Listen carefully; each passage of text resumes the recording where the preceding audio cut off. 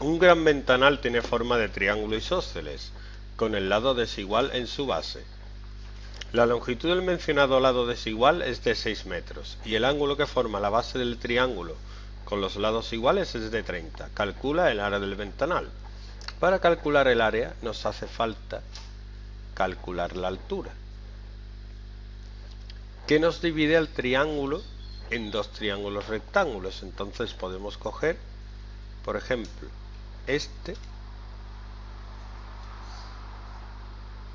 donde este ángulo mide 30 y este mide 6, y buscar una relación trigonométrica que nos permita calcular la altura, la que vamos a llamar h.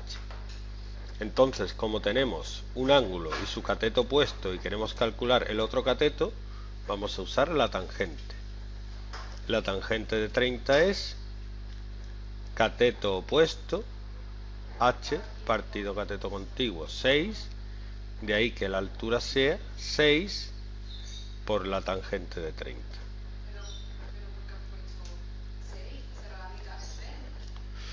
Perdón, perdón.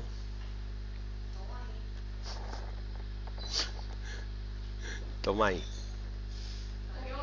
Oh, me he equivocado. Soy ingeniero y me he equivocado. ¿Qué le vamos a hacer?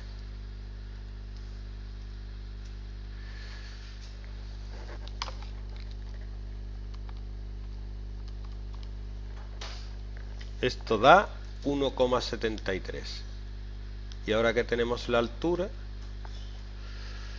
podemos calcular el área, que es base 6 por altura 1,73 partido 2. Y esto resulta ser 5,2 aproximadamente. En este caso, metros. Importante que pongáis las unidades.